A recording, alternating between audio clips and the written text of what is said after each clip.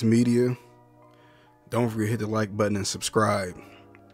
So I know people are going to be a little mad at this, but let's get to it. LeBron is the GOAT over Michael Jordan when it comes to business playing the game. Now I know I'm gonna get a lot of flack saying, well, LeBron, I mean, Michael Jordan owned the Bobcats, and sure he did after he played.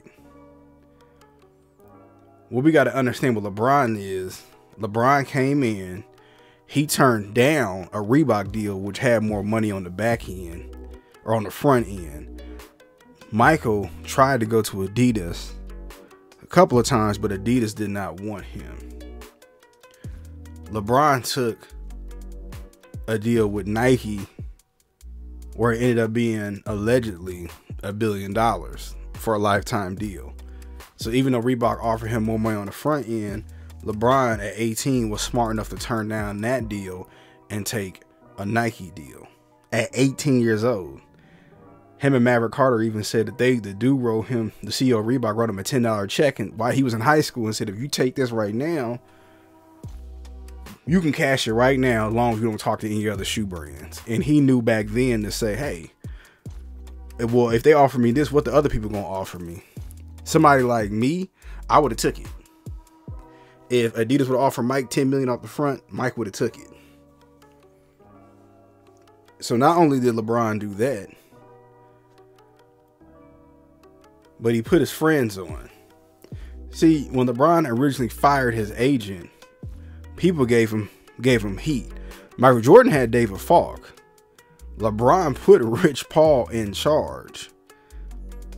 Now look where Rich Paul is at right now. He owned. I mean, his agency has has uh, generated multiple billion dollars in contracts. He's worth over a hundred million dollars, and he's the most powerful person, powerful sports agent in the league. Now you can say David Falk was in Mike's time, but David wasn't one of Mike's friends. David wasn't somebody that grew up in the same area. LeBron trusted Rich Paul with no degree, and they met at an airport when Rich Paul was flipping throwback jerseys. Maverick Carter.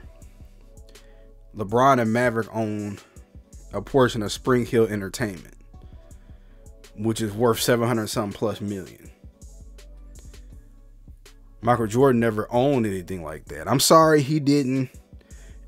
And don't get me wrong, Michael Jordan had deals with Rayovac and Nike and, Gatorade and all of that. But LeBron took he, LeBron turned down money and took a percentage of Beats by Dre.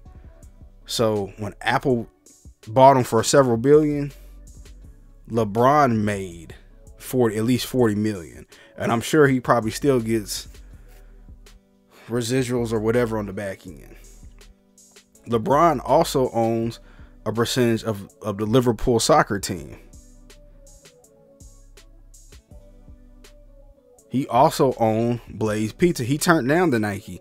I mean the Nike. He turned down the McDonald's endorsement. Just so he could take a stake in Blaze Pizza, which is now worth tens of millions of dollars. He put Randy Mims on. And for people who don't know Randy, usually when you see LeBron, you see Randy.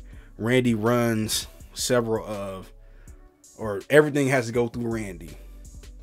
LeBron has single handedly made multi millionaires.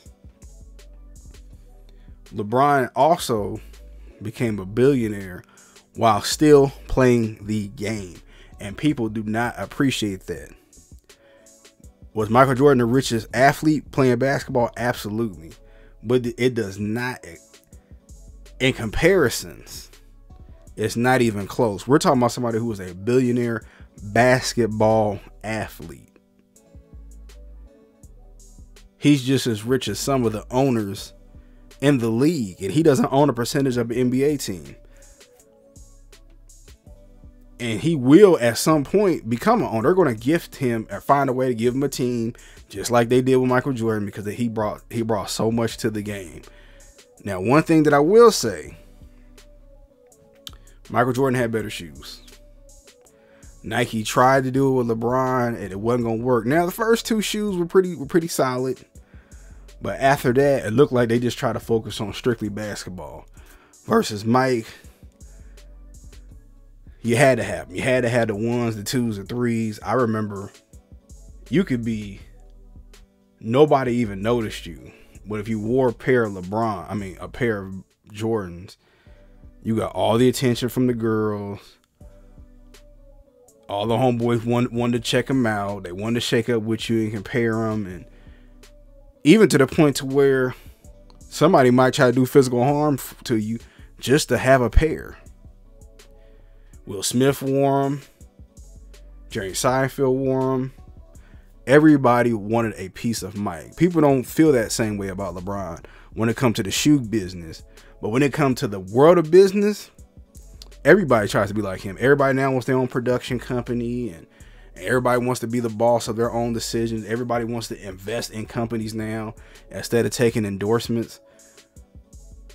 We got to get at the Mike. I mean, to LeBron. We have to. I'm sorry. I'm sorry. When it comes to business, LeBron James is the GOAT of sports.